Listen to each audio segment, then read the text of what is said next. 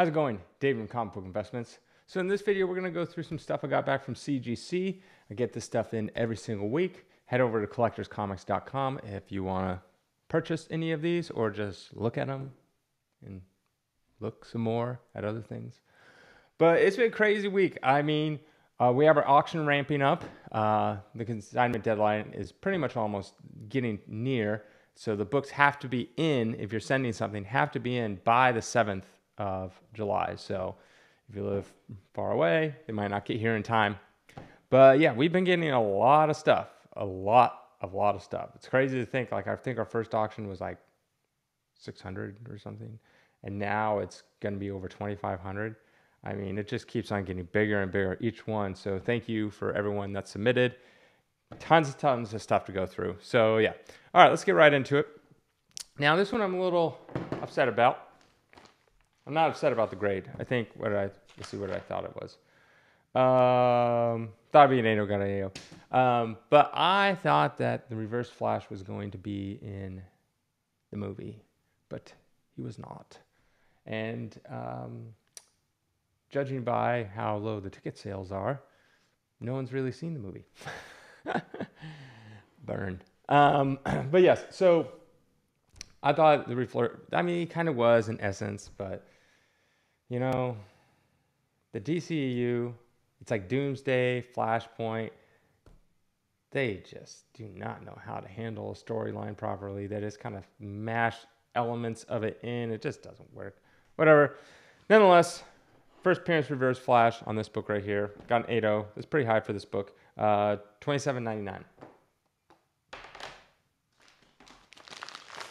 Now this book, I don't know what happened. For some reason, I thought this was 9 6. I don't know. Maybe it was written down wrong. Who knows?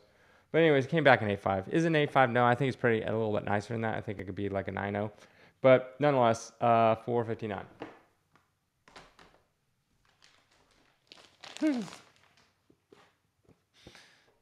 this book, 7 0.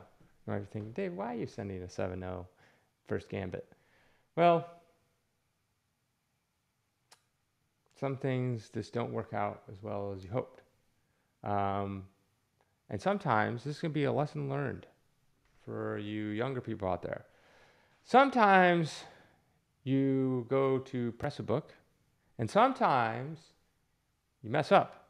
And then in those sometimes when you mess up, it ends up endangering the book. And it goes all the way down from what you thought would be a 9.6 down to a 7.0. so yes, this one got, this was user error over here on my part. Um, so yeah, just let that, for those of you don't know too much about pressing, some things can go wrong from time to time. Now, it's not an everyday case, and I'm glad it was on this book and not something better, but it is what it is.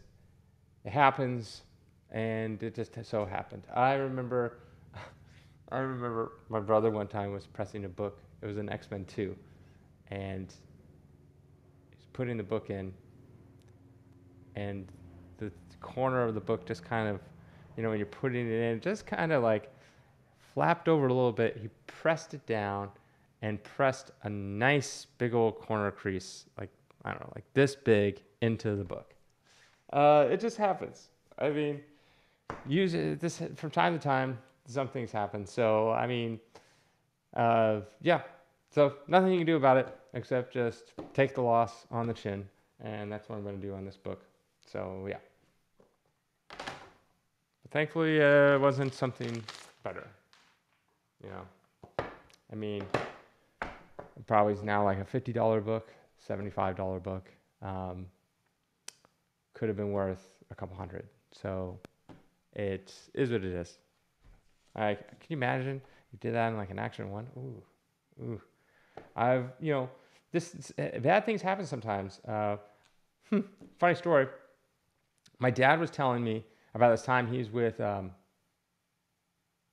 either Stephen Fish, uh, Fishler or Vincent from Comic Connect. But at the time, they were called Metropolis Comics. So this was before Comic Connect ever existed. There's Metropolis Comics.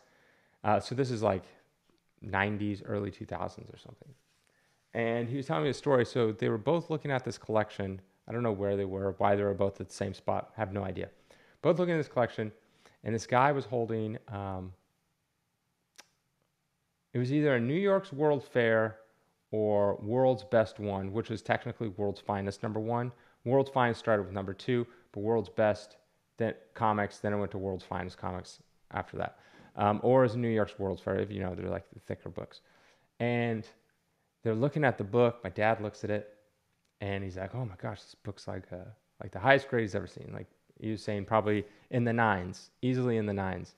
And then Vincent or Stephen Fishler, one of those, I have no idea. He's telling me the story, and I'm probably even remembering it wrong, um, who the people actually were, but I'm pretty sure it was uh, people from Metropolis. And they dropped the book, and just bam. You know, obviously it was before CGC, or maybe CGC was like brand new at that point, and just put a big old dent crease corner in it, and it's like, you know, that goes from the maybe the highest grade ever down to not so much anymore. And it just happens. So I remember uh, this things like that happen. You know, you never really know. Um, I'm trying to think. Um, the worst is when you get those really, really like brittle comic books that are really, really old and really, really brittle. And um, I remember in my younger days, I used to take the comic out of the bag and board, and then I would just slide it in. And, you know, multiple times, you know, you're paying attention to the front, not really paying attention to the back, and just this takes off a corner, takes off a chunk because they're so brittle, and that happens.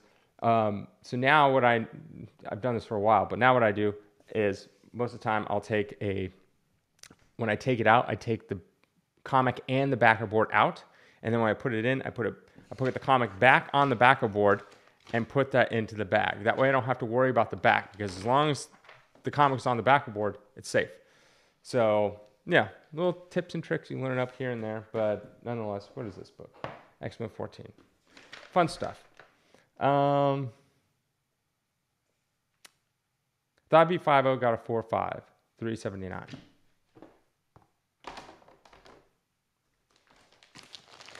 Number 16. Third Sentinels. Mr. Mold. Was it not Mr. Mold? Ma- Master Master Mold or something like that. Master Mold. Um, that'd be 90 got an 85, 6, 9, 649.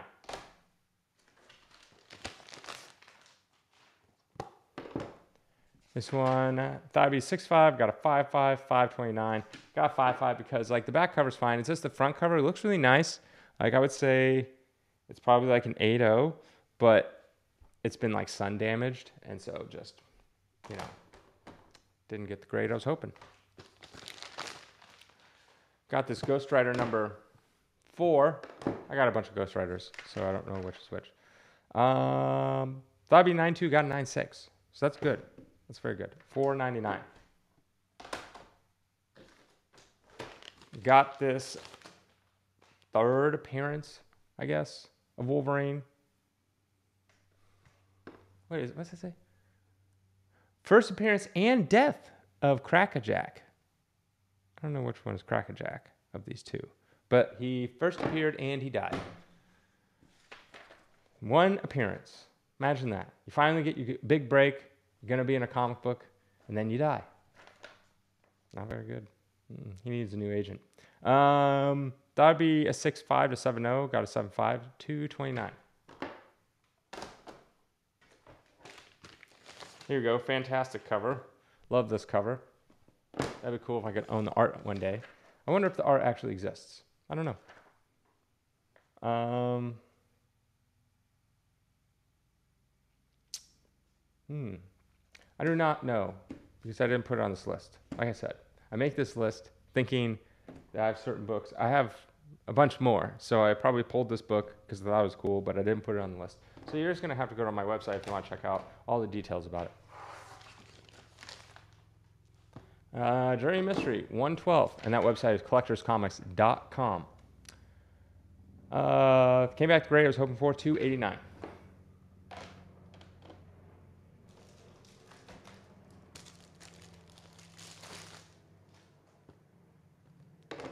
Action 89, rainbow cover.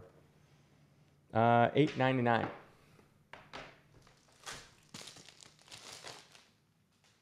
Here we go. First Kid Flash. Is it Wa- Wally West? Yeah, right. Is that what? Yep, Wally West. I don't know if they had it. If they, um, wait a minute. Ah, it's the first Weather Wizard. I didn't know that. Interesting. I'm sure I did, but don't remember now. So it's news as of today. Uh, Twelve ninety nine.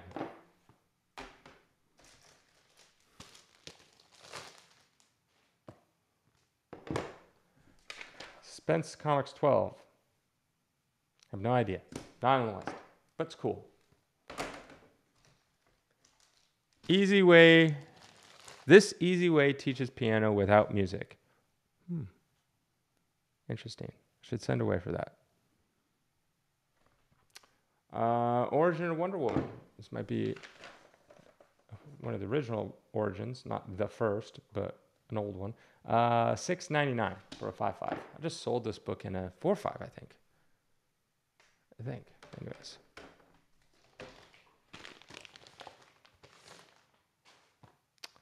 Some old Batman, number seventy one. I thought it'd be five five six zero. I got a five zero. Six ninety nine.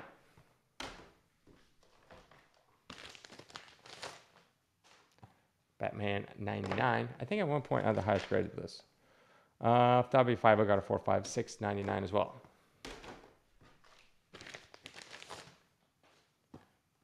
The whole Joker appearance. What number is this? 148. Uh, 249.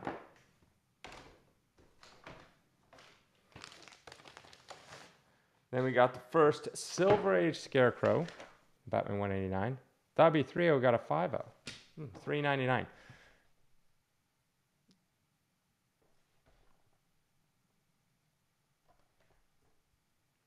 Hmm, All right. I think I just graded that one a little too tough, and they graded a little too loose. And then we got the Beatles hanging out. I don't know which grade is this. 6 0.